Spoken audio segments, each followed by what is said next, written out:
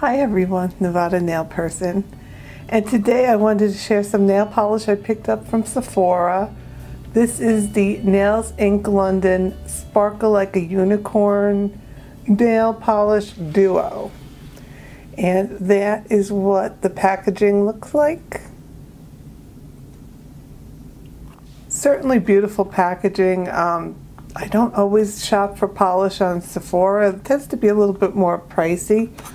But um, this just caught my eye, and these shades are absolutely stunning. So there's only two nail polishes in this collection, but it's certainly worth talking about.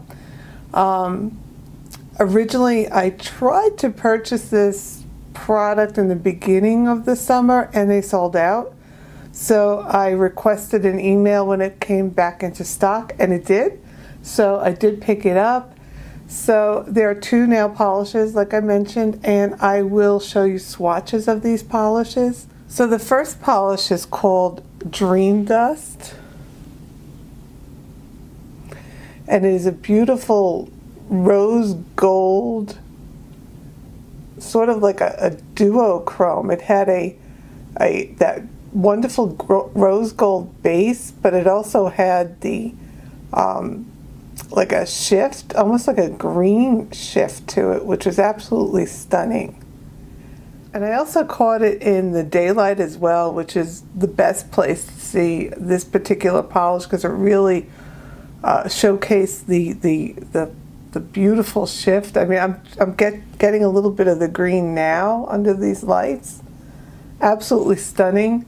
Um, I did wear it for a few days. It did chip, but I I do have issues with chipping sometimes because I am rough, but the shade itself is just stunning. So this is uh, probably one of my favorites ever. So I'm again not the biggest fan of pink, but the pink with the gold and the green shift to it is just absolutely stunning. This is called Dream Dust. I'm, I'm here going on and on, but I didn't tell you the name. It's called Dream Dust. So absolutely beautiful. The next polish in this collection is called Rainbow Wishes, and it is a beautiful purpley shade with a, again, a, a, a greenish blue shift. And in certain light, the, the shift comes out. So I'll try to capture some of that. I did try to change the settings to capture the shades in this polish or the shift in this polish. So absolutely beautiful. I did not get to cap capture this in the daytime, but um, let's see how it comes out on camera.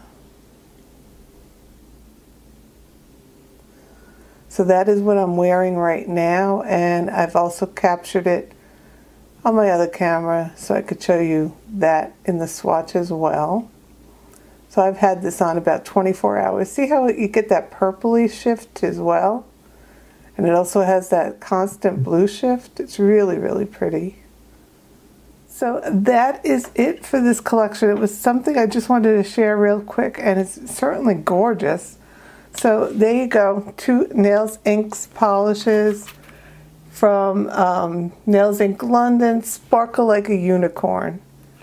So that is it. If you have any questions, let me know. I'll leave the bubble here to subscribe and feature last nail polish haul as well. And I will talk to you soon. Bye.